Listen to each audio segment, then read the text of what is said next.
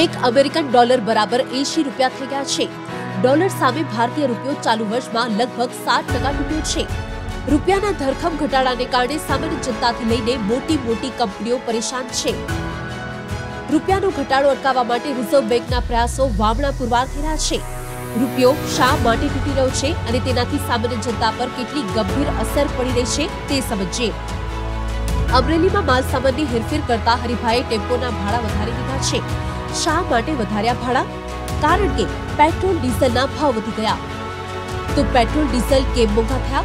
કારણ કે crude oil મોંઘું થયું અને ઓછામાં પૂરું નબળા રૂપિયાએ દાચા પર દામ દેવાની ભૂમિકા ભજવી.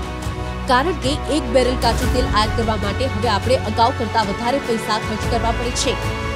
એટલે કે ક્રૂડ ઓઇલની આયાતી મોંઘવારી ખેલ બગાડી રહી છે.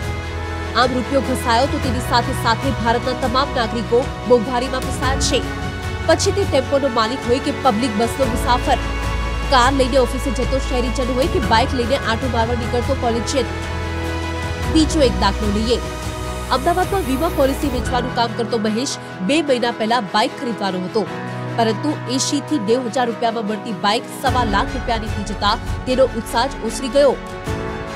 મહેશનું આ સપનું હકીકતમાં ન ફેરવાયું તેની પાછળ પણ નબળો રૂપિયો જવાબદાર છે. કારણ કે સ્ટીલ કોલસો આયાતી સ્પેરપાર્ટ મોંઘા થયા અને એટલે જ કાર અને બાઇક બનાવતી કંપનીઓને ભાવ વધારવાની ફરજ પડી. આમ સ્પષ્ટ વાત તો એટલી છે કે ભારતમાં મોંઘવારી વધી તેની પાછળ સાઈઠ ટકા યોગદાન દરિયાઈ માર્ગે ભારતના કાંઠે પહોંચતી આયાતી મોંઘવારીનું છે. આપણે કાચા તેલથી લઈને ઇલેક્ટ્રોનિક્સ, સોનું, ચાંદી, કેમિકલ વગેરે માલ સામાનની મોટા પાયે આયાત કરીએ છીએ અને આ બધું જ મોંઘું કર્યું છે. આ મોંઘવારી અમીર ગરીબનો ભેદ નથી કરતી, તે બધા પર સરખો જ પ્રહાર કરે છે. પછી તે ફર્ટિલાઇઝરના ઊંચા ભાવ સ્વરૂપે સરકારને પણ નથી છોડતી કારણ કે સરકારે સબસિડીનો બોજ વેઠવો પડે છે. અને આપણા જેવા લોકોને પણ નથી છોડતી કારણ કે આપણે મોંઘા પેટ્રોલ, ડીઝલનો માર વેઠવો પડે છે.